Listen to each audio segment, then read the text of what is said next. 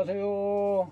엊그제 제가 그 양봉 소비 어, 소비 소충이 많이 생겨가지고 어, 제가 여러 가지 상황을 어, 이전에 올렸어요. 그래서 그날 어, 포르말린 소비를 소독하기 위해서 포르말린 용액과 유황을 구입했다고 제가 올렸었는데요. 오늘 택배로 왔습니다.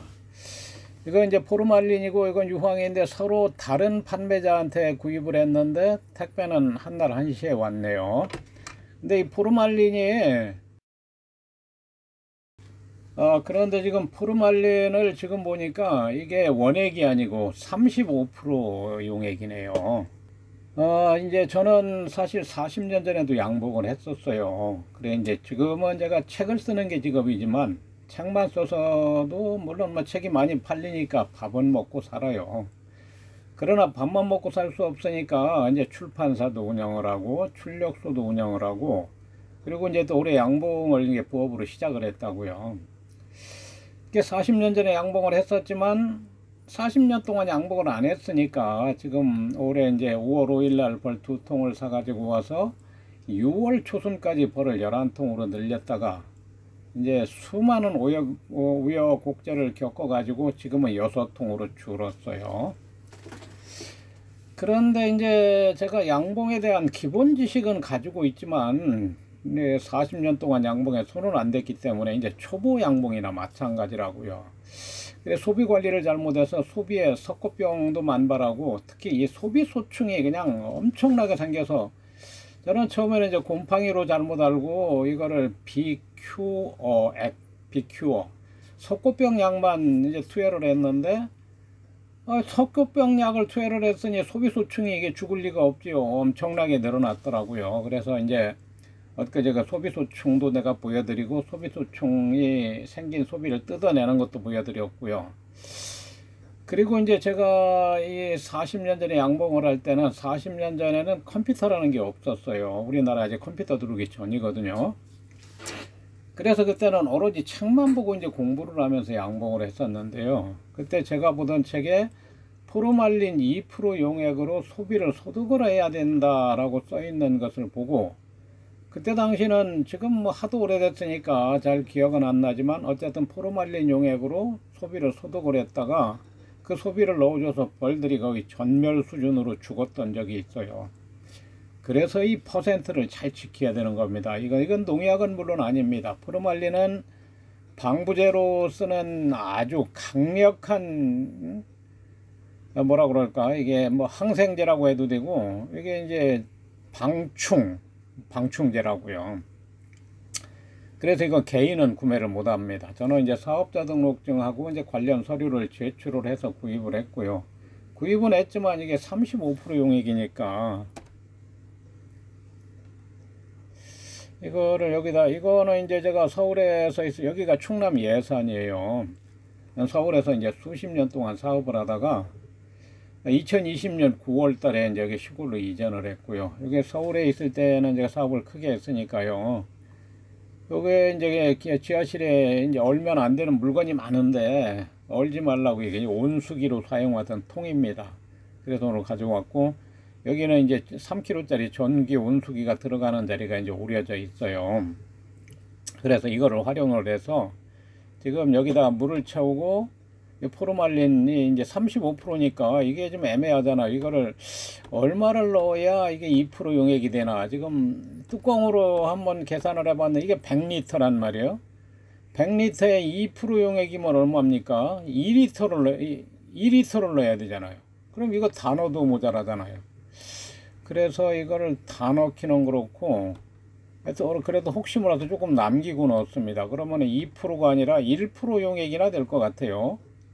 냄새 지금 몇 뚜껑으로 몇 개 넣고 냄새 맡은 냄새도 안 나요. 그래서 하여튼 이거를 거의 다 넣었습니다. 다 넣고 혹시 몰라서 예비로 조금은 남겨뒀는데요. 자 지금 소비를 가져와서 이게 이제 이게 소비 소충이 만발한 소비 엊그제 어, 보여드렸던 그 소비 중에 하나고요. 지금 소비를 여기다 집어넣어야 되는데 물에 둥둥 떠서 들어가질 않아요. 그래서 일단 물을 이렇게 채우고요. 소비를 일단 여러 개를 이제 포겠어요. 자, 이거 지금 어, 보는 겁니다. 이걸 얼마를 내야 되나? 다 넣어도 뭐다 2%가 안 돼요. 다 넣어봤자 1%. 더더욱, 더더군다나 이게 35% 용액이냐. 지금 생각하니까 이게 이거 뭐 한 35%니까 3개, 6개, 여러 개 넣어야 되겠네요. 지금 집어넣은 거는 1% 용액도 안 되네요. 지금 요 동영상을 어, 요런, 요런 식으로 이제 집어넣었어요. 뭔가를 눌러 놔야 돼요. 근데 뭐 그래서 일단 이렇게 해가지고 강제로 뚜껑을 덮었어요. 자 이런 식으로 꼭 누르고 여기다 이 물통을 올렸습니다. 지금 이거 한 손으로 누르고 물통을 들어야 되니까 물통에 물을 버리는 겁니다. 그래가지고 일단 올려놓고 어, 지금 태풍이 흰남노가 지금 오고 있단 말 우리나라로 역대급. 아마 우리나라에 온 태풍 중에서 가장 세다고 그래 이번에 오는 태풍이. 그래서 여기 구멍이 뚫려 있으니까 여기 안 되잖아요. 빗물이 들어가니까. 그래서 지금 비닐봉지를 일단 여기다 덮고 이런 식으로 덮고 비가 와도 이제 이 안으로 물이 안 들어가게 하고 지금 태풍이 오니까 이거 고무줄로 묶었어요 이런 식으로 고무줄로 묶었습니다 그래 이제 저는 일단 포르말린 1%도 안 되지만 일단 한번 해보는 거예요 이게 뭐 효과가 있다면은 뭐 눈곱만큼이라도 효과가 나타나겠죠. 지금 요 포르말린 35% 용액이니까 지금 이거 100리터에다가 이거 6개 그러니까 35%짜리 3개래야 100%라고 보고요. 3개를 넣어봤자 1%밖에 안 되잖아요. 6개를 넣어야 돼요. 그러면 포르말린 값도 이거 뭐 한 10만원 이상 들어간다는 얘기인데 아이고 그러면은 이것도 문제네요. 포르말린으로 만일에 소독을 한다 해도 문제입니다. 여기에 지금 포르말린을 한 10만원어치 이상을 넣어야 된다는 얘기예요. 그러면 결코 만만한 가격이 아니죠. 어, 태풍이 온다고는 하지만 혹시 몰라서 물을 더 채우는 거예요. 무겁게 물통을 채우고 자, 여기가 이제 제가 양봉을 지금 여기가 시골 구옥이기 때문에 좀 누추하지만 어쨌든 뭐 있을 건 다 있어요. 문화생활도 할 수 있고 여기다가 이제 이렇게 제 집 뒤에다 추녀를 매달아 가지고 양봉을 하고 있고요.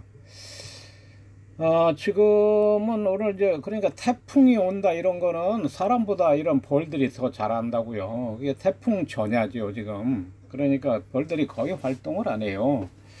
그리고 벌들이 뭐 굳이 밖에 나갈 필요가 없지요. 저는 올해 이제 5월 5일 날 벌 두 통을 사가지고 와서 6월 초순까지 11통으로 늘렸다고요.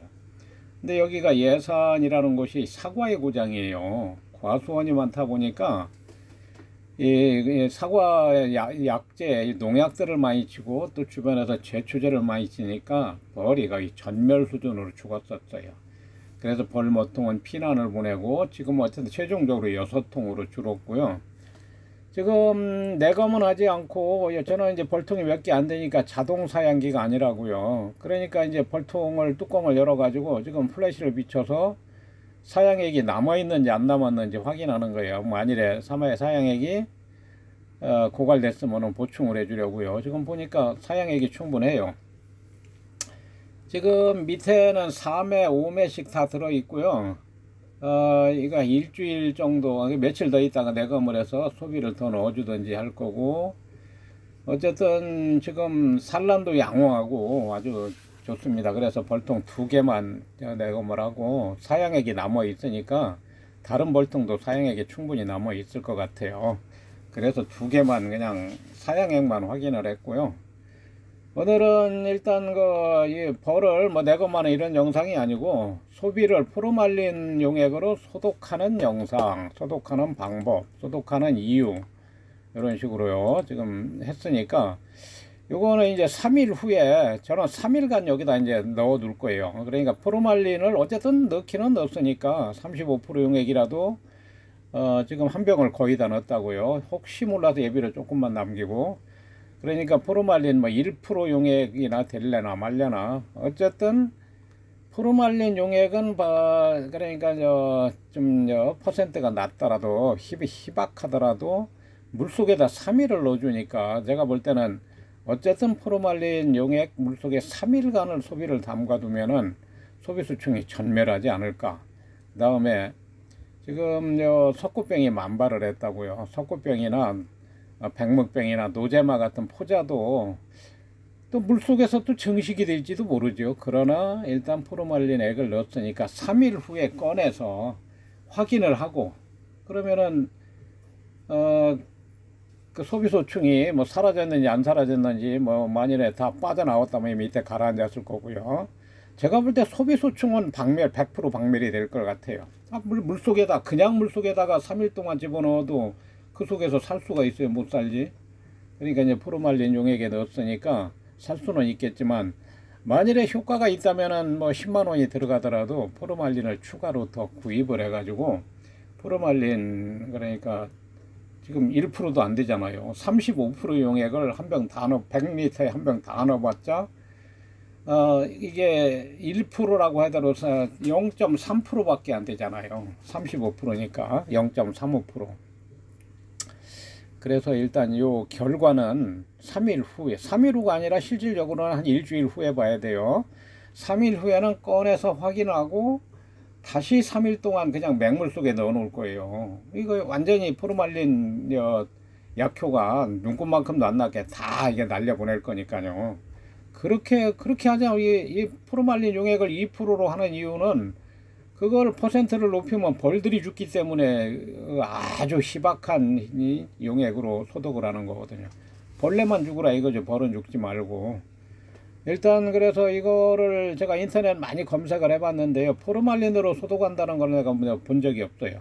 그래서 이거를 어 만일에 성공을 한다면 제가 최초의 사례가 되지 않을까 이런 생각을 합니다. 그래서 자세한 것은 대략 일주일 후에 이 결과를 보고 어 그래서 이제 소비를 깨끗하게 한 다음에 강군의 봉군에 한 장을 넣어 줘 보는 거죠 소비를 그래서 이상이 없으면 성공하는 거고 어, 그렇게까지 한 다음에 결과를 다시 촬영해서 올리도록 하겠습니다. 자, 오늘은 여기까지 하겠습니다. 감사합니다.